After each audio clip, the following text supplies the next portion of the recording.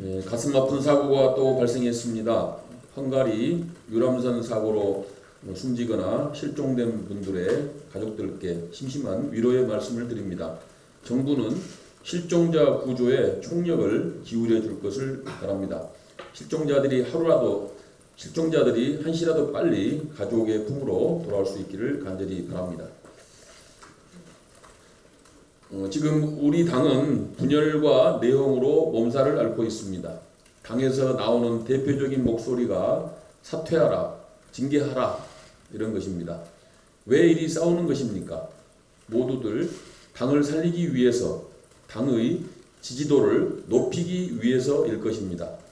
그런데 서로 상대방을 헐뜯고 싸운다고 당이 살아나고 당 지지도가 높아질까요? 아닐 것입니다. 우리 당의 경쟁력만 떨어뜨릴 것입니다. 이런 분열과 갈등이 더 증폭되면 당은 파국으로 치닫고 분당으로까지 갈지도 모릅니다. 그러면 모두가 패자가 될 것입니다. 우리가 패자가 되는 것도 견디기 어렵지만 우리가 패자가 됨으로써 대한민국의 정치가 후퇴하는 것이 더 견디기 힘듭니다. 우리 당은 다른 당에 비하여 많은 강점을 갖고 있습니다. 지난 대선에서 전국적으로 고르게 28.2%의 득표율을 얻어본 경험이 있는 검증된 정당입니다. 안철수, 유승민이라는 유력한 대권 주자가 있습니다. 안철수 전 대표는 깨끗함과 미래 상징에서 앞서 있고 유승민 전 대표는 합리적 개혁주의자, 경제 전문가, 경제 전문가로서 인정받고 있습니다. 손학규 대표는 경륜과 포용력에서 대한민국을 대표하는 정치 원로입니다. 여기에 오신환 원내대표, 하태경 의원, 이준석, 김수민, 최입의 최고위원 등 미래형 젊은 지도자들이 있습니다. 당원들의 숫자도 38만 명으로 적은 숫자가 아닙니다.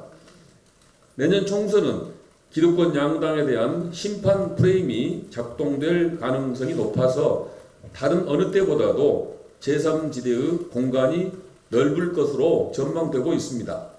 우리 당이 힘을 모아 제3지대에서 튼튼한 그릇을 잘 만들면 내년 총선에서 큰 승리를 담아낼 수 있습니다. 왜 튼튼한 그릇을 만들려고 하지 않고 그릇을 깨뜨릴 국리만 하는지 모르겠습니다. 왜 뺄셈 정치에 빠져 있는지 모르겠습니다. 우선 손학규, 안철수, 유승민 세 분이 화합하는 모습을 보여야 합니다. 그것이 당을 살리는 첫 걸음입니다. 손학규 대표님, 유승민 전 대표님께서 하루속히 만나실 것을 당원들의 이름으로 요구합니다. 늘 싸우다가도 중요한 순간에서는 협력하면서 어려움을 돌파했던 김대중, 김영삼 두 분의 리더십이 생각납니다. 지금 싸움의 한복판에 있는 모든 분들도 이제 한 발씩 물러서서 뒤를 되돌아볼 때입니다. 이왕 시작한 싸움이니 이겨야겠다는 집착에서 벗어납시다. 우리는 개혁, 화합, 자강의 정신으로 모두가 승리하는 길을 개척해야 할 것입니다. 우리는 모두 동지입니다. 감사합니다. thank you